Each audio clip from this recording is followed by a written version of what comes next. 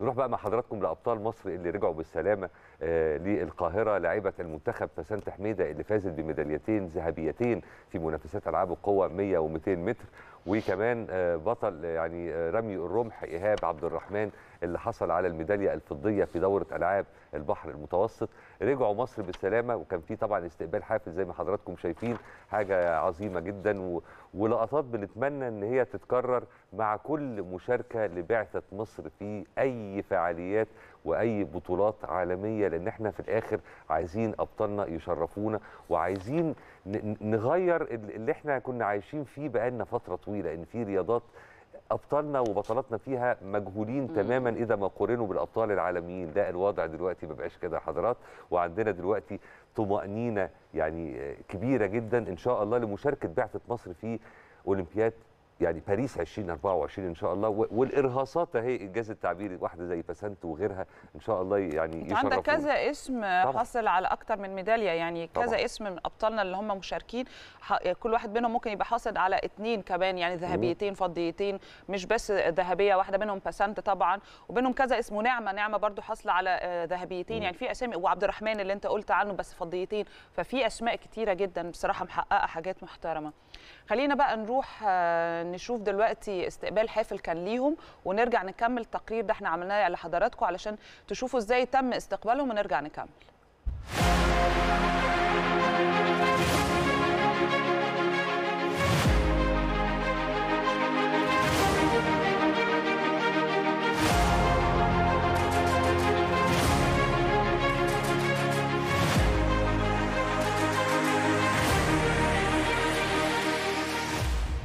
النهارده بطلتنا يعني بسنت وبطلنا إيهاب. أنا جيت بستقبلهم. إنجازات مهمة جدا للرياضة المصرية إنجازات كبيرة جدا. ده حاجة كويسة لكن ده بداية إعداد وتأهيل ل 2024 لكن لازم يعني ننقل للشباب المصري والمصر كلها.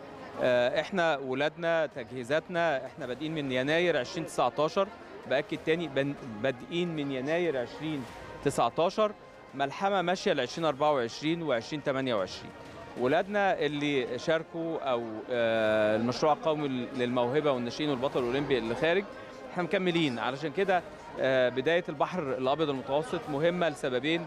اولا الشقيقة الجزائر وكل الشكر والتقدير لشقيقتنا الجزائر معالي وزير الشباب والرياضة الشعب الجزائري. الحقيقة حفاوة كبيرة جدا بتعبر عن العلاقة الثنائية ما بين البلدين. آه كمان آه آه ولادنا إن ده بداية أو إعداد المرحلة الثانية من من بدايتنا 2019 آه البطلين دول الحقيقة ظروفهم في طوكيو ما شاركوش.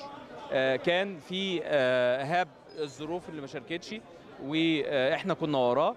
وبسنت كان عندها إصابة. إحنا دلوقتي بنكمل آه يعني الحمد لله الفترة القادمة ليهم وبنقول لهم ألف مبروك. طبعا أنا بحييكم وبحيي قناة الأهلي وطبعا شعور عظيم جدا كل كل الناس دي وكل الجماهير دي أنا بشكرهم. والله الحمد لله ربنا كرمني يعني إن أنا أعرف أتخطى المرحلة دي وأعرف أتخطى الإصابة وأتخطى المشاكل النفسية وأقدر أقف تاني على رجلي وأقدر إن أنا أحقق تاني إنجازات كويسة بفضل طبعا الكوتش بفضل أهلي وفضل الدكاترة بتوعي اللي شغالين معايا. فبشكرهم جدا. جمهور الجزائر جمهور راقي جدا ومحترم شجعني بكل قلب اكنه أكني في بيتي بالظبط. كانوا مبسوطين جدا بيا. البطولة كانت أجواء كويسة جدا هناك تنظيم كويس كل حاجة كويسة.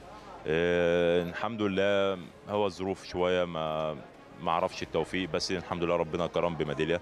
أه أنا خدتها كنقطة بداية إن خلاص خلاص الماتش عدى. إن شاء الله اللي جاي نركز في اللي جاي صفحة واتقفلت.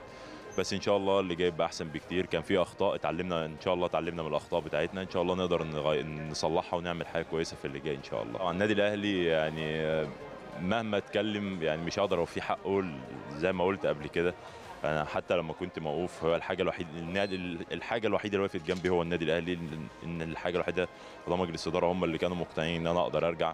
كان في سبورت فظيع من اعضاء مجلس الإدارة بكابتن كابتن محمود الخطيب ومع الوزير عمرو فاروق كلهم كلهم بلا استثناء. كان في سبورت جامد جدا إن أنا لازم أرجع وإن أنا لازم أبقى أحسن من الأول. أنا بقول لهم هم ووزاره الشباب والرياضه يا جماعة أنا أنا اسف ان أنا ما قدرتش أجيب الميداليه الذهب بس ان شاء الله أقدر اعوضها ان شاء الله الفترة اللي جاية. حاجة تسرني طبعا وتسر كل الابطال وكل يعني لاعبي العاب القوه ده يعني بيعبر عن التقدير النجاح. و... و... وأنا سعيد برضو ان ان بنت زي بسنت كسبت عشان البنت دي مميزه. وبتمثل آه، تمثيل مشرف للفتاة المصرية. الله عبد الرحمن ما خدش فرصته مع الكورونا. هو محتاج يسافر بره وهو طول عمره كان بيسافر بره بيقعد مع مجموعة من ال- بتوع رمح أجنبية فنلندا وألمانيا وأقوياء الرمح. فهو محتاج آه، يطلع وما عرفش يطلع عشان ما عرفناش ناخد فيزا كذا مرة يعني. فإن شاء الله اللي جاي آه، هيبقى أحسن.